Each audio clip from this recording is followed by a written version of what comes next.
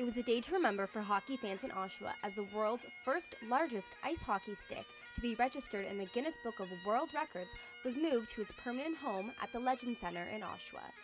Weighing in at over 1,200 pounds and made from solid Canadian maple, the stick took over 88 hours to produce and takes a minimum of 16 people to carry it.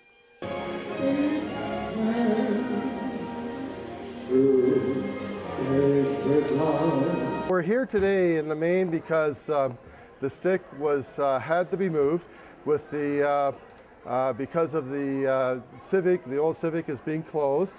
It's being renovated. You know, it's a, a, symbol of Oshawa, and our heart and soul goes out to uh, hockey players of all ages. You think of these other cities, like Sudbury has their big nickel, Miramichi has that huge lobster, Gravenhurst has the Muskoka chair, and now we've got a hockey stick.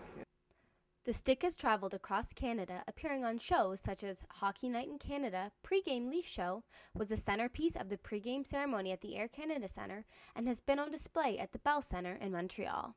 For DC News, I'm Amanda Press.